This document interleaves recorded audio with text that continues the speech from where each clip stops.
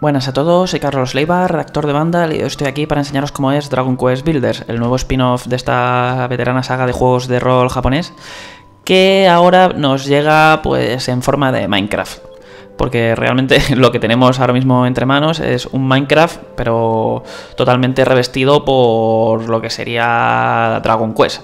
Es decir, tenemos un aspecto visual, tanto de diseño de personajes y de enemigos, heredado prácticamente de la saga, la misma música, los mismos efectos de sonido eh, incluso el mismo mundo, porque uno de, uno de, los detalles más interesantes de esta entrega es que a nivel argumental se trata de la continuación del final malo del juego original que se lanzó hace 30 años, del primer Dragon Quest de todos, en el que en el que el jefe final nos daba la opción de unirnos a él y condenar al mundo a prácticamente a su destrucción. Entonces aquí esto se desarrolla cien, cientos de años después, después de que el mundo fuera devastado por la decisión que tomamos en aquel entonces.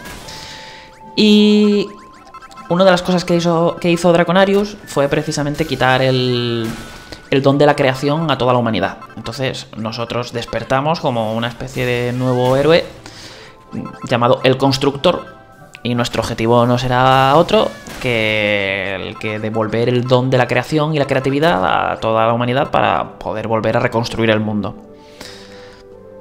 Bueno, para este vídeo comentado os voy a enseñar mm, una misión sencilla que me han mandado en la que tengo que, que crear este plano que estáis viendo aquí.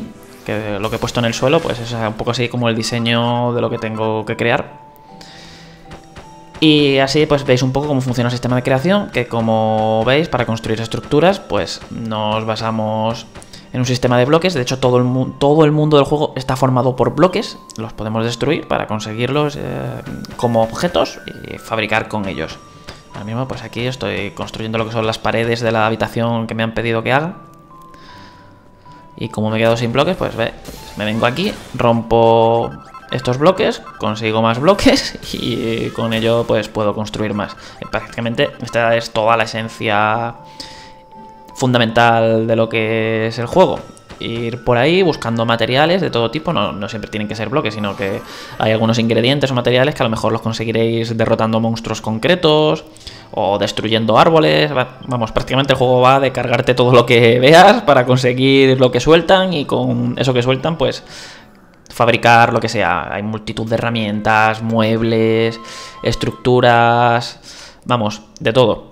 Tanto en la mesa, en la mesa de trabajo, como en una forja o en una barbacoa, dependiendo de lo que queráis crear, pues con las recetas que vais obteniendo, que la mayoría las obtendréis una vez encontréis un material, es decir, encontráis un material nuevo por primera vez y eh, vuestro el héroe dirá, ah, pues ya sé construir esto, esto, esto y esto, que es lo que se necesita con este material aprendéis la receta automáticamente, os vais al, al puesto de trabajo que necesitéis. Por ejemplo, ahora mismo estoy aquí en el banco del carpintero, donde pues puedo trabajar todo lo que es la madera esencialmente y ponerme a fabricar. Pues ahora, por ejemplo, como en el diseño me habían pedido que creara varias cosillas, como una mesilla, un cofre y varias cosillas más, pues es lo que estoy haciendo aquí. Miro los materiales que me piden, me hago una buena idea de lo que tengo que hacer. Algunos materiales de los que te piden para hacer unas recetas se consiguen con otras recetas o simplemente tenéis que ir a, buscarlos por ahí al mundo.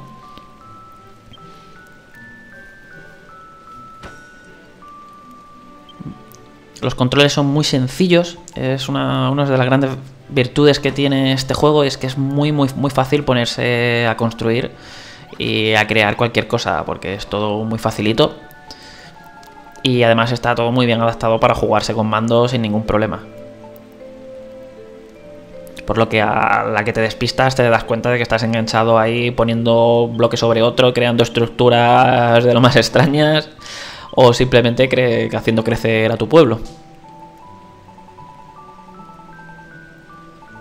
Podéis crear un montón de habitaciones distintas y dependiendo de lo que metáis dentro de esa habitación y de las características que tenga, pues se convertirá en un tipo de sala, eh, casa u otra. Las podéis convertir, por ejemplo, en una enfermería para llevar enfermos o en una forja o en una habitación privada que asignéis a un habitante concreto. Podéis, vamos, podéis crear un montón de cosas. Ya lo bueno es que el juego desde el primer momento te va guiando absolutamente por toda la aventura. Es decir, una de las grandes ventajas que tiene este juego frente a Minecraft, al menos en mi opinión, es que tiene una historia. Como tiene una historia y eh, es una historia que se va desarrollando, te va guiando, vas viviendo distintas aventuras, te van mandando misiones. Y vamos, en general, pues pues eso, se, se, deja disfrutar y no te sientes perdido. No es un juego como Minecraft de ponte a crear por crear y a sobrevivir por sobrevivir. No, aquí tienes un objetivo, tienes, tienes que cargarte el malo de turno y reconstruirlo todo. Y eso pues lo vas haciendo a lo largo de un desarrollo más o menos lineal que, que va marcado por las misiones que te, que te van dando. Entonces pues siempre tienes más o menos claro qué es lo que tienes que hacer y nunca, nunca vas perdido. Y de hecho la mayoría de estas misiones es siempre como intenta construye esto o haz aquello y siempre te van un poco guiando en qué es lo que tienes que construir. Y poco a poco pues así vas desbloqueando más materiales más cosas con las que más cosas para poder equiparte eh, te enseñan a crear los distintos tipos de salas y para qué sirven cada una entonces, el juego siempre te va guiando muy poco a poco. Es como, vamos, realmente todo lo que es la aventura principal es como un gigantesco tutorial en el que te va enseñando pues a desenvolverte y qué cosas puedes hacer y cuáles no y para qué sirve cada una. Entonces, pues al final te acabas acostumbrando y sabes perfectamente qué es lo que tienes que meter en cada habitación para crear lo que tú quieres. Y en ese sentido está muy bien resuelto porque así se consigue que un juego que que tiene tantas posibilidades como este, pues no te agobie de buenas a primeras, sino que sea todo muy progresivo y que te dé tiempo a sentarlo y, y asimilarlo todo bien. Como veis, prácticamente podéis destruir cualquier cosa del mundo que claro, esto también tiene un poco más de ciencia, no simplemente ir con este martillo y cargándotelo todo. Hay distintos tipos de materiales, hay algunos que son muy duros y por ejemplo solamente los podréis destruir para haceros con lo que tengan pegándole bombazos, que, con las bombas que evidentemente también tenéis que crear. En otros a lo mejor necesitaréis pues un martillo más duro para poder destrozarlos.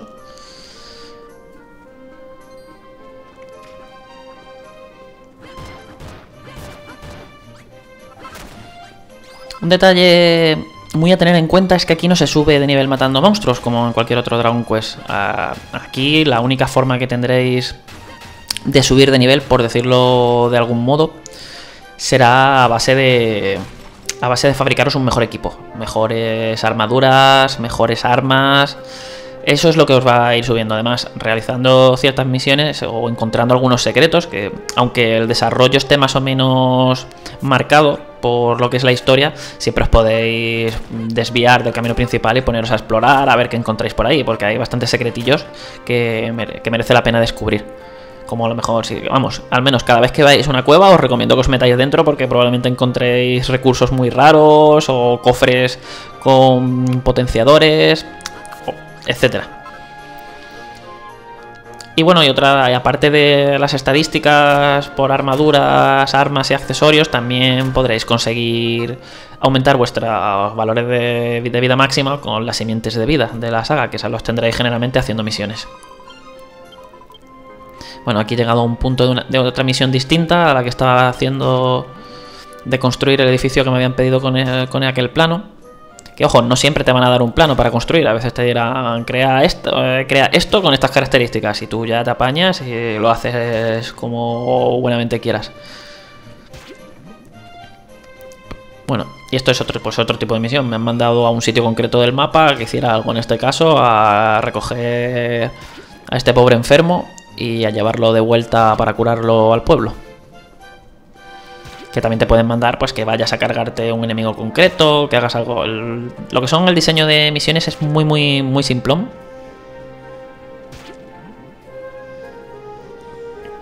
No es especialmente complejo, pero bueno, cumplen su misión porque su objetivo, a fin de cuentas, que es el de enseñarte a jugar y a cómo hacer las cosas para que vayas aprendiendo a desenvolverte por ti mismo poco a poco.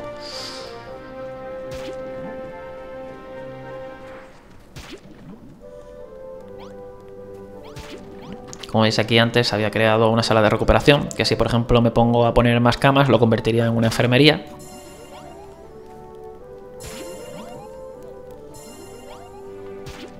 Un detalle que no me ha terminado a mí de convencer demasiado del juego es el hecho de que el título esté estructurado por capítulos, como que son vienen a ser algo así como fases.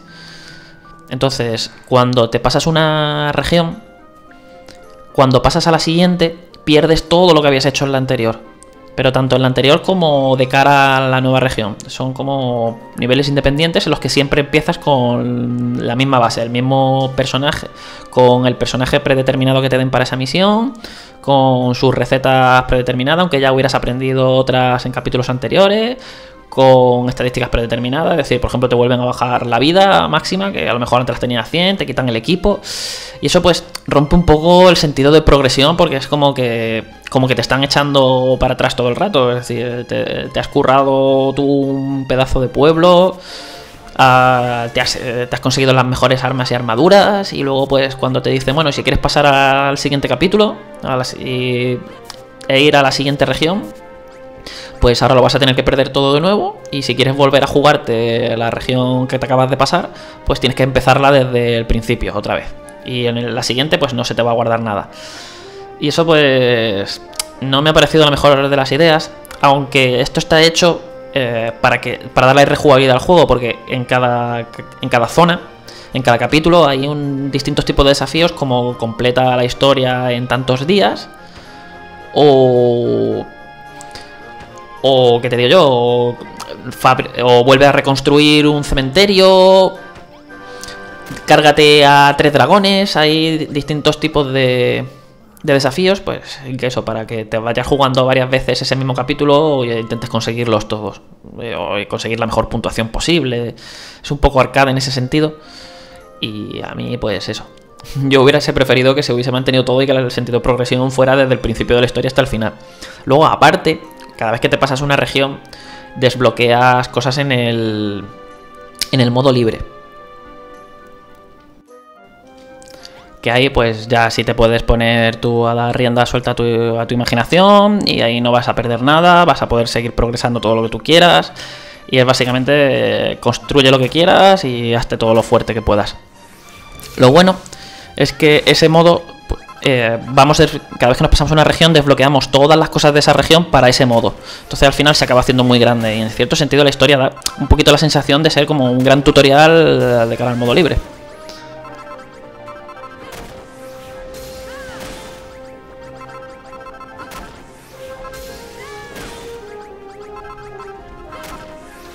De todos modos, no tenéis nada de que preocuparos porque el modo historia, lo que es la campaña en sí, da para muchísimas horas de juego por sí sola. Es decir, de hecho le vais a echar varias decenas de horas antes de llegar hasta el jefe final. Y una vez lo hagáis, si no tenéis pensado poneros con el modo libre, porque no os gusta eso de poneros a construir por construir y eh, simplemente queréis jugar la historia, podéis estar tranquilos porque os habrá dejado lo suficientemente satisfechos como para que sintáis que la inversión realmente ha merecido la pena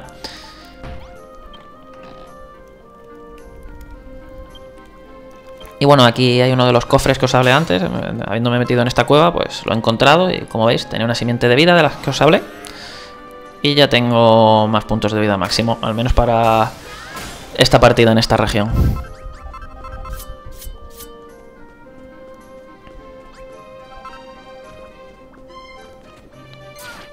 Y bueno, con esto ya tengo los materiales que necesitaba para terminar de construir el plano que me habían pedido.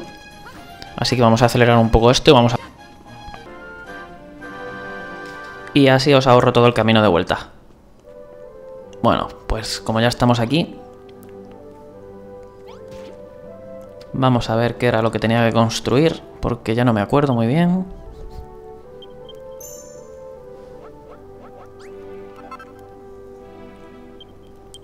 Fabricamos el caldero, que era lo que necesitaba. Ponemos esto para subir un poquito el nivel del pueblo. Que aquí todo lo que vayáis construyendo va subiendo vuestro el nivel de vuestra base. Y muchas veces para avanzar os van a pedir que tengáis un mínimo de nivel. Cada objeto que pongáis tiene da una determinada cantidad de puntos.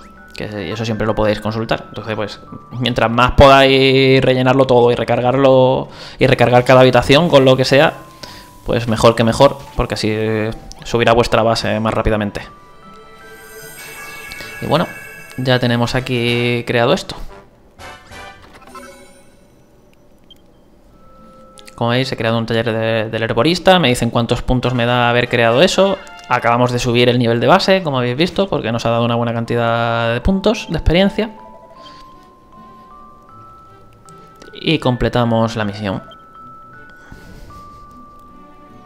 Aquí pues como nos están ¿veis? Nos están explicando incluso para qué sirve este taller que acabamos de, de crear.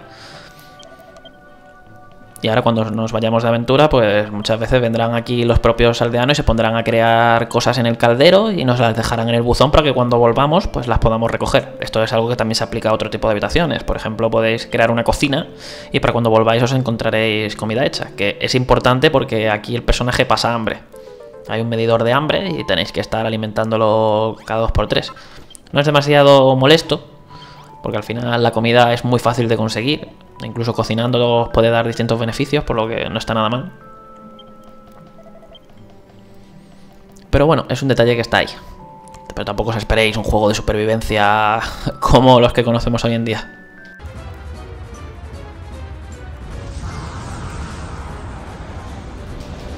Bueno, y ahora vamos a ver lo que sería el primer jefe final del juego. Aquí en cada región, pues vais avanzando, avanzando, avanzando hasta que llegáis al enfrentamiento con el jefe final. Cuando lo derrotáis, pues ya os darán acceso a que terminéis esa zona y podáis pasar a la siguiente isla que forma el mundo del juego. Aquí estamos probablemente en uno de los peores aspectos del juego. Y es el sistema de combate. Es extremadamente simple. Pero tanto lo que son las batallas con los jefes finales como en lo que es combatir contra enemigos normales. Contra los jefes finales, como estáis viendo, pues tiene un poco más de, chicha. Porque os hacen usar distintos objetos que hayáis ido construyendo a lo largo de la historia de la región. Por ejemplo, aquí estamos usando esta especie de muro escudo para evitar las rocas que nos va tirando el golem. Aunque esto también es un poco tramposo porque si os fijáis abajo a la derecha nos dicen qué es lo que tenemos que hacer en todo momento. Eh, vamos, que nos están diciendo protégete de las piedras con el escudo de canteria. Pues ya sabemos que tenemos que usar el escudo de canteria para protegernos de las piedras y además tenemos que hacerlo tres veces. Ahora nos tenemos que poner aquí detrás, eh, nos lo van indicando todo el rato, está muy muy guiado y al final pues pierde un poco de gracia estos enfrentamientos que por otra parte están bien en el sentido de que rompen con la dinámica habitual, no son combates normales que yo aquí me empeño en pegarle espadazos, e incluso cuando me dicen que, que le deje una bomba ahí debajo. Como veis, un desarrollo, unos combates con una mecánica muy simple, muy básicas que se, no paran de repetirse. Y bueno, ahora lo veréis aquí, lo que sería contra los enemigos normales, que como veis que no tiene simplemente aporrear el botón de ataque para pegarles y existen de vez en unas pocas técnicas que podemos ir aprendiendo, como un ataque cargado y cosillas así, pero que realmente no, aportan mucha profundidad. Lo, más interesante es esto que estáis viendo ahora, de que podemos usar algunos objetos que hemos creado como, como armas. Por ejemplo, les dejas unas bombas y los atraes hasta ella y les haces mucho daño. Así, por ejemplo, me he podido quitar rápidamente a esos mazadores de encima.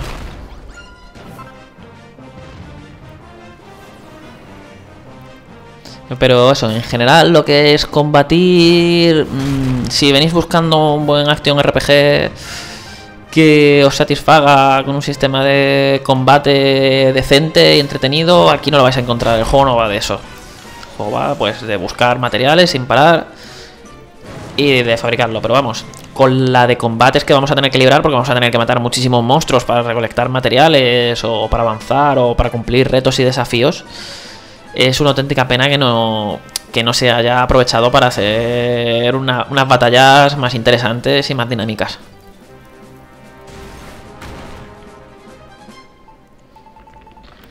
Pero bueno, en general se trata de un juego muy divertido que además consigue superar los prejuicios que muchos podemos tener sobre lo que es Minecraft y todo ese fenómeno, ya que con los cambios que introduce y y el encanto que tiene Dragon Quest, porque no deja de ser uno de los grandes atractivos del juego, que no deja de ser un Dragon Quest en sí mismo, pues al final acaba consiguiendo que lo disfrutemos muchísimo.